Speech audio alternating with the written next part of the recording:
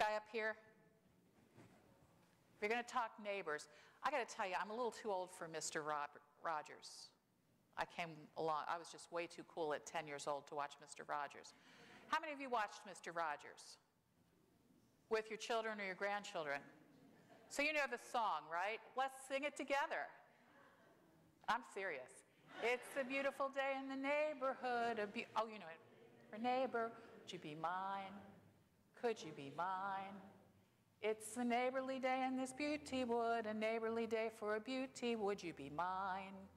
Could you be mine? I've always wanted to have a neighbor just like you. I've always wanted to live in a neighborhood with you. So let's make the most of this beautiful day. Since we're together, we might as well say, You've stopped singing. Would you be mine? Could you be mine? Won't you be my neighbor? Very good. Give yourselves a hand. A parable about neighborliness. And what do we call this parable? We call it the parable of the Good Samaritan. Now, you heard me read. Now, granted, it was 45 seconds ago you heard me read, but anywhere in the parable does it say the Good Samaritan? That should give you a little bit of an indication about, even years later, how much the difficulty between Samaritans and Jews were so strong and continued to be strong.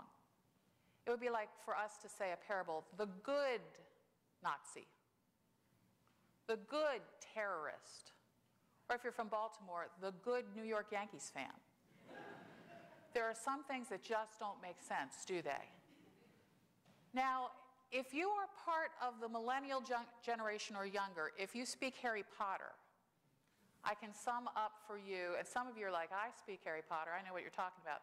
I can sum up the controversy by telling you the Jews considered the Samaritans to be mudbloods. But for the rest of us, we might have to look at where that controversy started. About 800 years before the birth of our Lord Jesus Christ, the kingdom split into the northern and the southern kingdoms. And the Assyrian exile happened, and then the Babylonian exile happened and most of the Jews were carried out of the land, but some remained behind in the area that was called Samaria and in the city called Samaria. And when the Jews came back, when Cyrus of Persia ended the Babylonian exile, don't worry, we're not going to get any more historical than that because you're already looking like Cyrus of Persia. What's she talking about? They wanted to come back into the land. The temple had been destroyed. The Samaritans offered to help. The Jews said, No, you stayed here. You've mixed our blood with the blood of these strange foreigners. We want nothing to do with you. Through the years, it got worse. Because they had mixed blood, they would not allow the priests to enter the temple. And so they went and built another temple on Mount Gerizim. That's where the Samaritans continued to worship. Then things got even uglier. The Samaritans defiled the Jewish temple. They spread the bones of their dead around to defile the temple. So by the time that Jesus came into the picture, the hatred between these two groups of people was so intense, we can't even imagine it. We could look at some of the situations in the world today. What happened in the Balkan regions, the Serbians and the Croats, and those controversies there. We could look at the Zionists and the extreme Hamas of the Arab world, people who will not even acknowledge each other's presence. That was the situation between Jews and Samaritans at the time of Jesus. And he was well aware of this hatred, this loathing, to the point that they don't even speak each other's name or acknowledge each other on the road. Now, when you ask Jesus a question, you got to be careful because he's going to answer you. And especially if you're asking him a question that you already know the answer to because you're trying to impress him. Now, the man who walks up to Jesus, a good Jew, a righteous Jew, he's a lawyer. Now, not lawyer like you're practicing law today. Lawyer as in you're an expert in the first five books of the Bible, which are called the Torah or the Pentateuch. You absolutely know them. You know them by heart. You could, you could sit down and recite those books. And so he's an expert in the law. So, what better question to ask Jesus than a question of the law? Now he goes up to him very reverently. Teacher, he says, a term of respect. Teacher. What must I do to inherit eternal life? Now, if you want to ask anybody what to do to inherit eternal life, I'm going to tell you what, Jesus is a good one to ask. Just be careful about how you approach him. Because Jesus knows who this is, knows the, the reason behind the question, so he says to him, okay, you know, what does it say in the law? And then he has a chance to shine. Ah, it says, love the Lord your God with your heart, your soul, your mind, your strength, and love your neighbor as yourself. And Jesus says, well, you know the answer. Go ahead. But wanting to justify himself further, he asks the question, and who is my neighbor? Jesus tells him a story. There was a man going down the road from Jerusalem to Jericho. I don't know if you've ever seen the road from Jerusalem to Jericho. Sometimes we picture um, a, a road of our own sort of cultural understanding. But the road from Jerusalem to Jericho was steep and arid. There was no vegetation. There were rocks. There were rock slides. There were places where you had to stay very close to the wall so you didn't fall off, sort of like southern West Virginia for some of you who've driven there, but without the trees. It was a notorious place for bandits to hide. It was also the road between the temple and the home of the temple priests. Temple priests served for a period of time that was prescribed. And a temple priest would always be a Levite, but not all Levites were temple priests yet. So, who is going down the road first, Jesus says, after this poor man is beaten and left half dead on the road? But a priest goes by. Pretending not to see, he walks on the other side. I'm telling you, the road was so narrow that he had to just sort of edge by him. And also, a Levite walks by. Now, biblical scholars will tell you that maybe there was a good reason for that, because if a priest touched a body that was dead, he would be defiled, and he would have to go and go through a long, long period of purification. Not exactly the truth. There were exceptions to the rule, and to render help to someone who was dying or someone who had just been killed was an exception to the rule. And Jesus doesn't, doesn't give them any outs for this. And the Levite walks by. And then he says, and then a Samaritan walks by. The person who asked the question would have felt slapped in the face. That was how abhorrent the word is. I cannot even go there. The Samaritan comes by.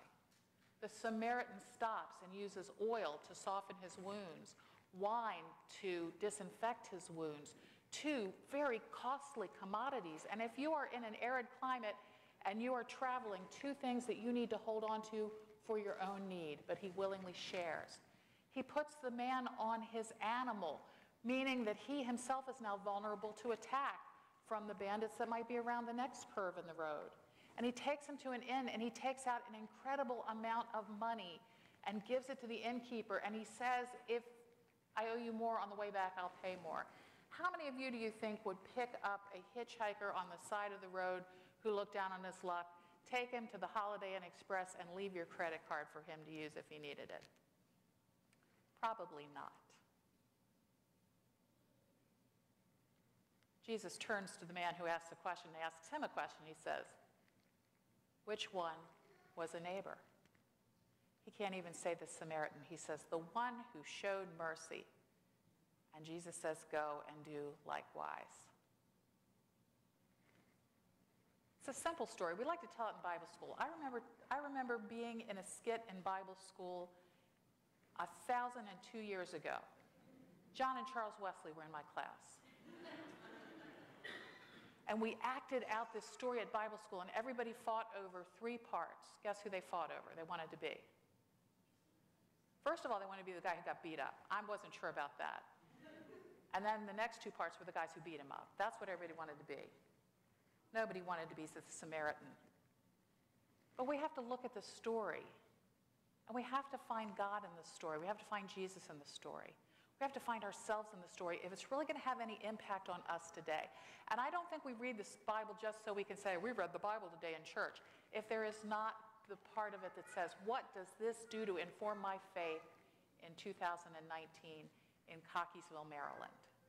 We don't know what the story means. So, where do we see Jesus in the story? We see Jesus in the Samaritan for sure, the one who showed mercy, the one who showed compassion, the one who held nothing back, but gave everything he had and more. We see Jesus there. But we see Jesus too in the man lying in the side of the road because we know that our Lord experienced rejection, beating, and even death for our sake. And we need to see ourselves in this story as well.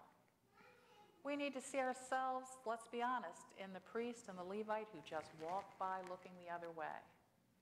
Because sometimes we do look the other way because it's too painful to look upon the hurts and the needs and the brokenness of others. Sometimes we need to see ourselves in the lawyer who says, I know what's right, Lord. Let me ask you if I'm doing the right thing. So Jesus will say, Well done, good and faithful servant. And sometimes we too are like the one left bleeding and broken on the side of the road, praying that someone might see us and come to our aid. We're all over the story. So, what does it mean to be a neighbor? Now, scripturally, in the beginning, it meant your kinsmen, those who were related to you, part of your tribe. But it was expanding, and it was expanding through the law. And you got to remember that this lawyer absolutely knew the law, or he would never have approached Jesus saying, Am I doing the right thing? So Jesus could say, Add a boy.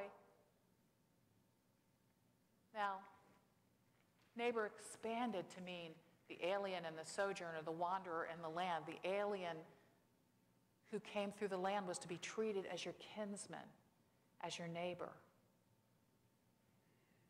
And we're fond of saying love your neighbor, right? How many of you have ever, ever said love your neighbor? It's a lot easier to say love your neighbor than love the guy next door who lets his dog use your lawn as his toilet. I am trying to sell a house in a small neighborhood in West Virginia. There were people from the volunteers and mission team at Harmony United Methodist Church who came out I had a florist in that congregation, and she oversaw this group of people trimming my shrubs and my hedges and everything else. A woman came running up the street and said, Is the preacher dead? Not poor preacher, but is her house for sale? Do you know who's selling her house? Because she wanted the house for her daughter. No, for her son. The woman across the street wanted the house for her daughter. And they started coming over to visit me to tell me how undeserving the other one was. Well, she says that's her husband, but that's her baby daddy. And I know you, Pastor, don't want someone like that buying your house.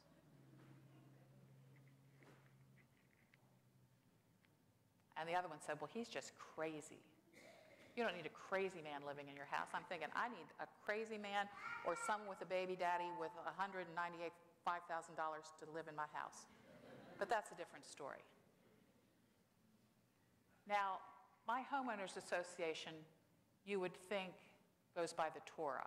That's what I call their covenants. How many laws?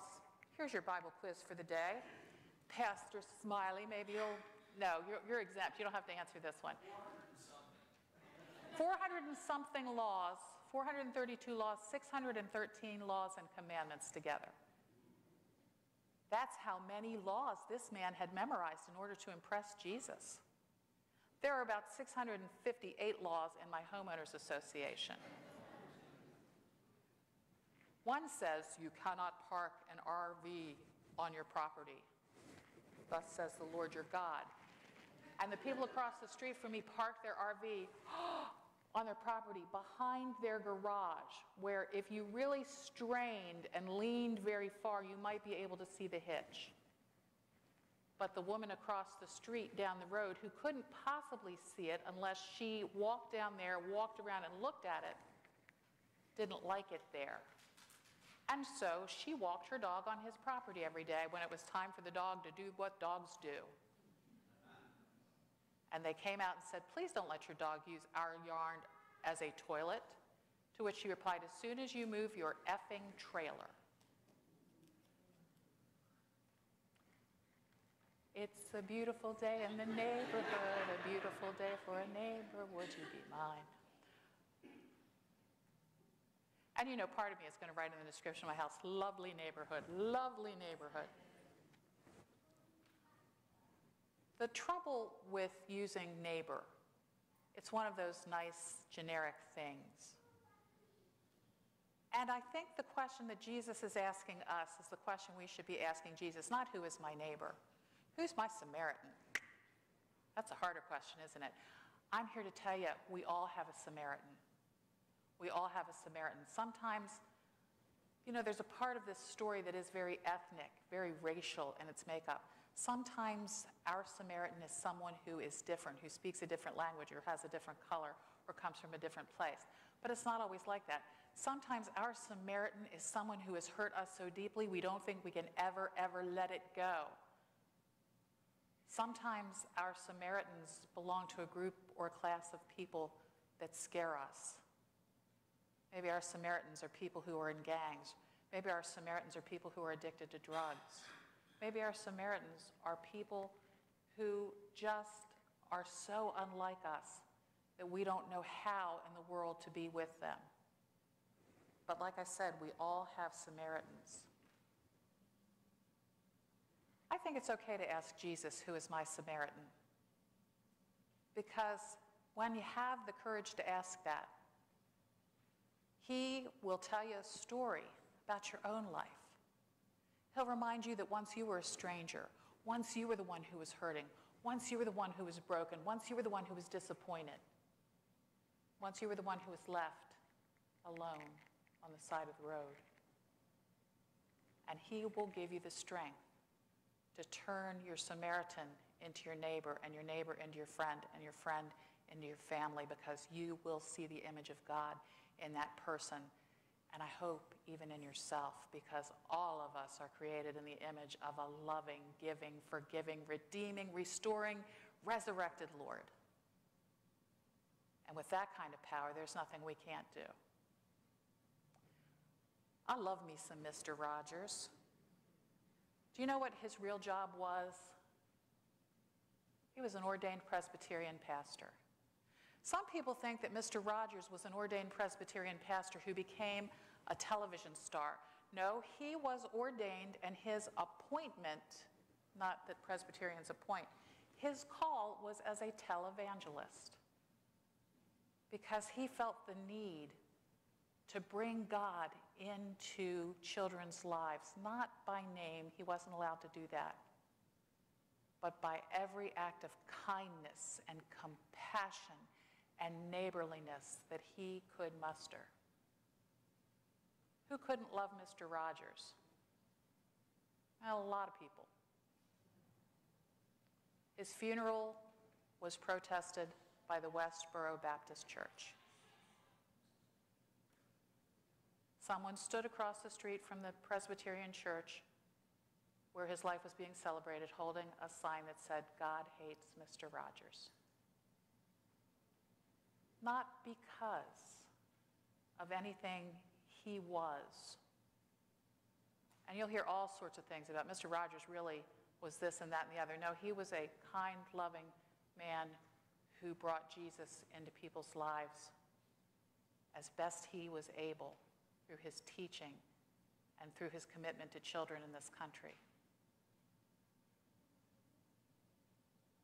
He's also been blamed by certain media outlets and others for being the cause of millennials all being bad, bad people.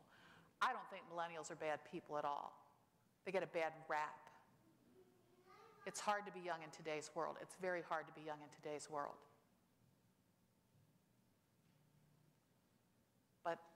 There are critics of Mr. Rogers who said, because he told people that they can be loved as they are, he ruined a generation of America.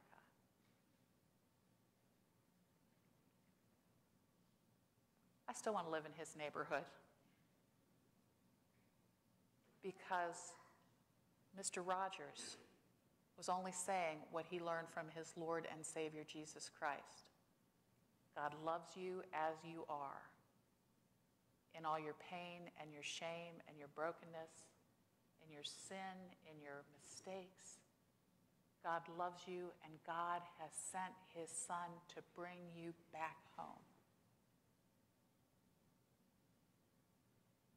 That's a good neighborhood to live in.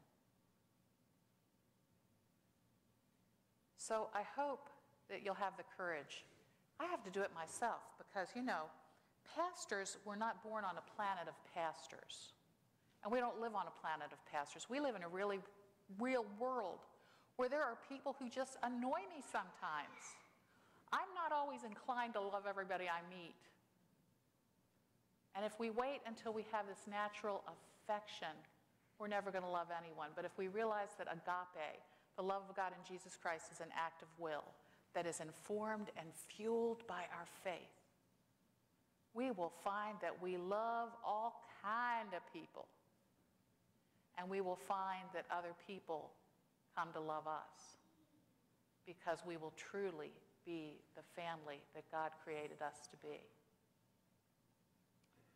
So let's make the most of this beautiful day. Since we're together, we might as well say, Would you be mine? Could you be mine? Won't you be my neighbor? Won't you be? Won't you be? Please, won't you be my neighbor? Amen. Would you stand and join in singing?